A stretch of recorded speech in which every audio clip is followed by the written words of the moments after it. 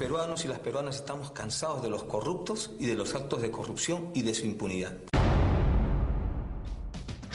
Ollanta Humala y Nadine Heredia viven hoy su peor pesadilla tras las rejas. Está saliendo la primera dama, está saliendo con un polo negro. La corrupción en el gobierno y el manejo turbio del dinero. Que, que se casó con Nadine y Nadine le gusta el, el dólar como caramelo. I Han desatado este escándalo vergonzoso para todos los peruanos. Un juez del Perú ordenó la detención preventiva durante 18 meses del expresidente de ese país, Olanta Humala, y su esposa Nadine Heredia. El expresidente de Perú, Ollanta Humala, y su esposa Nadine Heredia, investigados por lavado de activos. O juiz peruano decretou 18 meses de prisão preventiva ao casal após um pedido da Procuradoria. Para 18 meses de prisión preventiva para el expresidente de Perú, Ollanta Humala, y su esposa por el caso Odebrecht. La radiografía de los Humala Heredia registra una tremenda metamorfosis. Los nacionalistas que aquí estamos nos comprometemos con un cambio, una gran transformación.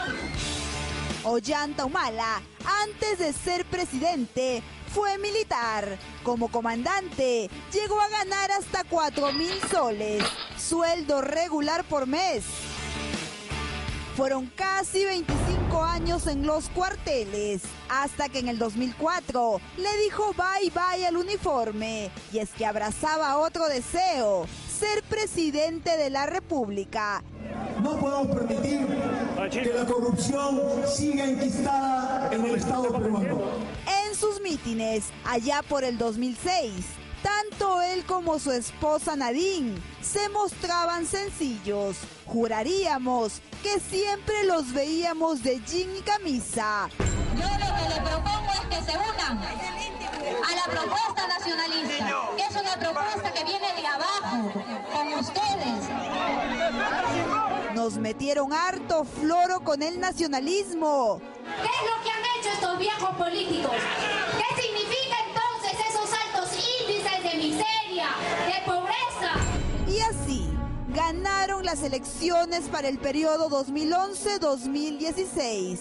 Como presidente Ollanta, pasó a percibir 16 mil soles mensuales. Un Estado corrupto es un Estado lobista, clientelista, donde se permite que el jefe de Estado prometa todo lo que quiera al país y nunca cumple.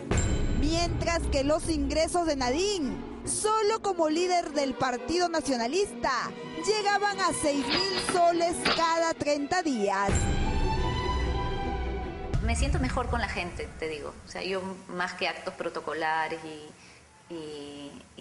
ver estas situaciones de, de poder, influencia, yo lo que quiero es conectar con las personas y decirles, transmitirles que este gobierno está preocupado por ellos. No sumaban ni un año en el poder, cuando de pronto las ropas de los mítines pasaron al baúl de los recuerdos. La transformación llegó sobre todo para Nadine. Lujos, excesivos gastos, su armario de diseñador. Todo comenzaba a llamar la atención. del 2005, 2006, que vivían en una pequeña casa dentro de la casa de la mamá, que eran pues dos cuartos, dos cuartos y una cocina pequeña. Bueno, todos sabemos que se movían en un vehículo marrón, lo re- recordamos un vehículo mar- marrón, no sé si era Datsun o Toyota de marca, pero un carrito viejo de los años 75, 80. Ella gana 6 mil soles mensuales. Con 6 mil soles mensuales podríamos vestirnos, utilizar vestidos como los que hemos visto. No, yo creo que no porque podría comprarse quizás uno o dos vestidos o un vestido y un par de zapatos. Hoy sabemos que entre 2006 y 2009 hubo movimientos raros en las cuentas de la esposa de Ollanta. Fueron más de 213 mil dólares abonados solo para ella por una serie de personas. Que rajen pues, pero nosotros trabajamos por la gente. No me van a separar del trabajo con la gente. Pero lo que están haciendo es una campaña de demolición. ¿Qué compró con todo eso Nadine? Según registros públicos, su madre, doña Antonia Alarcón, tiene a su nombre hasta tres propiedades en el distrito de Surco. Hay algo que une a Ollanta y a Toledo, tener suegras eh, que tienen la suerte de tener un boom inmobiliario, como digo, por arte de magia, ¿no? Eso tienen que explicar. ¡Qué raro! Si la señora trabajaba apenas como conductora de movilidad escolar. Guachapería como siempre, no. Guachapería como siempre, no. El hermano de Nadine Ilan Heredia, hoy también investigado, habría depositado hasta 7 millones de verdes en las cuentas del nacionalismo en el 2011. Hasta las amigas de Nadine le habrían servido para que ella reciba más y más dinero. Fueron más de 38 mil dólares encontrados en la cuenta de una tal Rocío Calderón. Según nuestras autoridades, ese dinero sirvió para que la ex primera dama se vaya de shopping cual compradora compulsiva. Compraron sillones Luis XV estilo calado por 6.500 soles. Una vitrina Nisa de 6.400 soles. Sillones Luis XV grandes por 6.000 soles más. Mientras el chupo reventaba. Que Nadine compraba hasta chocolates de lujo, llegando a gastar 260 dólares en bombones en Nueva York. ¿Qué tiene de malo que, que la señora Nadine se, se tome un chocolate Godiva en Nueva York? ¿Qué tiene de malo? Esparcía el rumor que los Humala Heredia vivían del dinero del chavismo. Ella hace compras y yo no me meto en las compras porque es un tema de compras personales de, de dos señoras. Las agendas salieron a la luz para continuar enlodando la reputación de la parejita presidencial.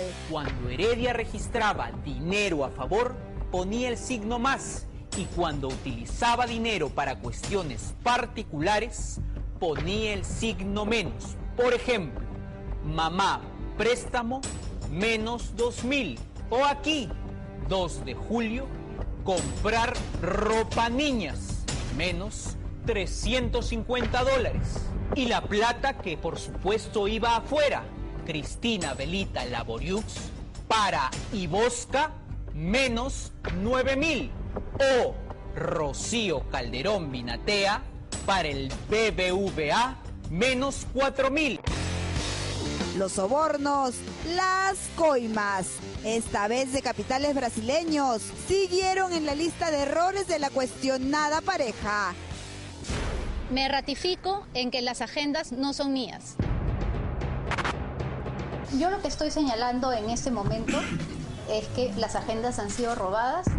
El expresidente Ollanta Humala, lo estamos viendo entonces ya ingresar dentro de este vehículo.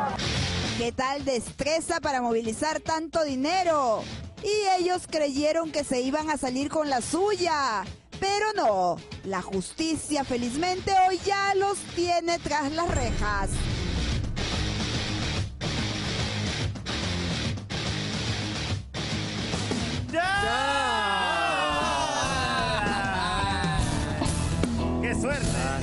Qué suerte que tiene hoy. Qué suerte. En cambio acá nosotros seguimos pobres.